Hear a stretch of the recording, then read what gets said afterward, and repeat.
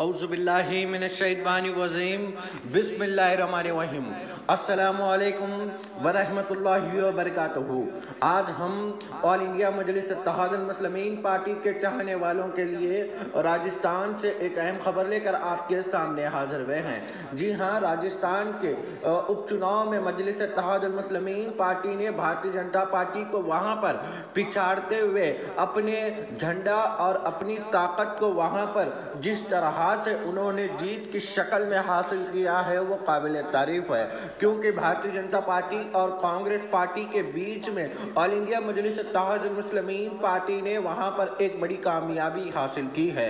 और आने वाले विधानसभा चुनाव को मद्देनजर रखते हुए बैरिस्टर असदुद्दीन अवैसी साहब ने इस उपचुनाव में अपनी पार्टी से उम्मीदवार को वहाँ पर ठहराया था। और उसी को मद्देनजर रखते हुए राजस्थान की राजनीति में all India Majlis Muslimeen party ने भी दस्तक दे चुकी है।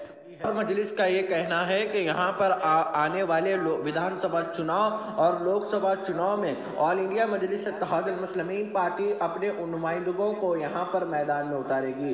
क्योंकि जिस तरह से आज मजलिस की जीत के बाद से वहाँ पर भारतीय जनता पार्टी और कांग्रेस पार्टी के बीच जिस तरह से रोना रोई चालू हो चुकी है वो मजलिस मुस्लिमीन पार्टी की कामयाबी के बाद से वहाँ पर जिस तरह से आज भारतीय जनता पार्टी का बुरा हाल हुआ है। आने वाले समय में भी विधानसभा चुनाव में मजलिस मुस्लिमीन पार्टी, भारतीय जनता पार्टी के उम्मीदवारों को हरा कर उनका बुरा हाल करेगी। और आज जिस तरह से पूरे हिंदुस्तान की नज़र आने वाले हर चुनाव में लगी हुई है, क्योंकि मजलिस मुस्लिमीन पार्टी के सदर बैरिस्टर सदुद्दीन अवैसी साहब का कहना है कि हम आने वाले हर चुनाव में यहाँ पर राजस्थान में हिस्सा लेंगे और उसी को मद्देनज़र रखते हुए बैरिस्टर असदुद्दीन अवैसी साहब की ये जीत बहुत बड़ी कामयाबी के तौर पर मानी जा रही है।